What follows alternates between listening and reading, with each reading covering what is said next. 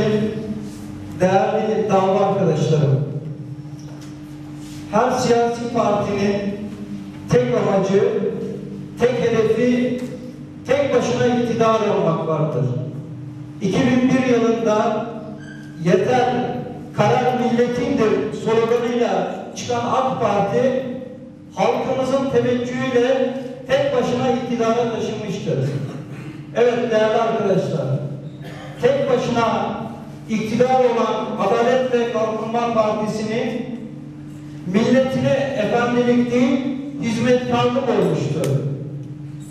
Büyük usta Sayın Başbakanımız Recep Tayyip Erdoğan'ın birer dava arkadaşlarıyız.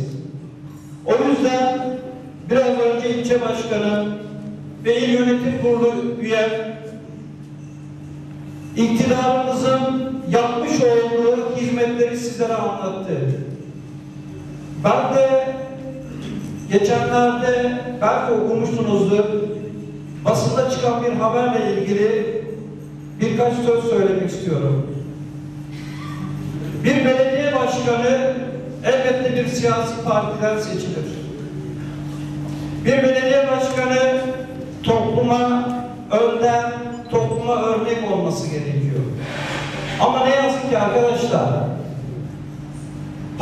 partimizden istifa etmiş bir ablamız ve bir oğlu Cumhuriyet Halk Partisi bunu öğreniyor, kendilerini ziyaret ediyor ve de arkadaşlar çok önemli.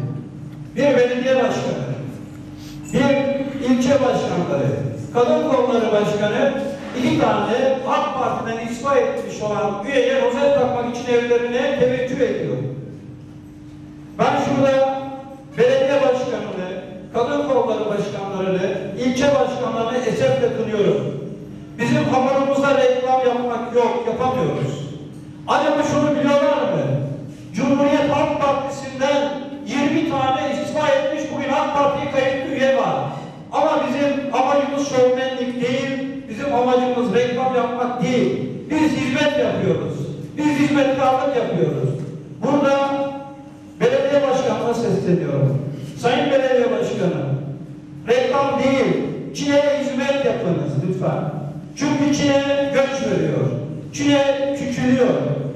Hepimiz Çin'in geleceğine daha iyi, daha sağlam temellerde inşa etmemiz için lütfen yerel seçimlerde birlikteliği oluşturarak elimizi taşın altına sokalım.